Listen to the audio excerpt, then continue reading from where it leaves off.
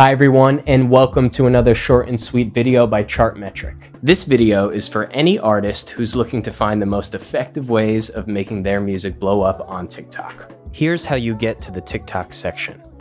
Once you pull up an artist profile using the search bar, or clicking through from your dashboard or the artist list, click the TikTok tab in the left navigation menu or scroll down until you hit the TikTok section.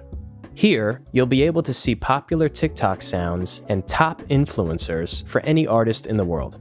In the popular TikTok sounds table, you can sort an artist's TikTok sounds by track name, Chartmetric score, post count, and first post date. Each sound is a unique section from a particular track by the artist, so some sounds may link back to the same track page as a result. Notice the little play button on the track artwork in the track name column? Click it to listen to the particular sound that's being used in TikTok posts.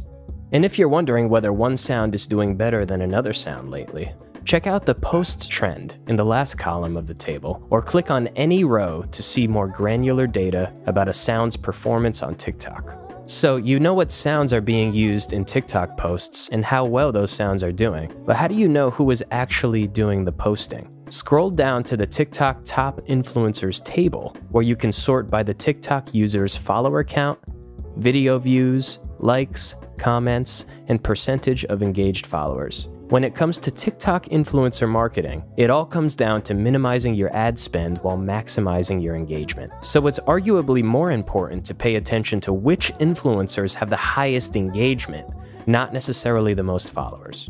And that's how you're going to get the biggest buzz on your sweet, new, or old track. Thank you for watching another short and sweet video brought to you by Chartmetric.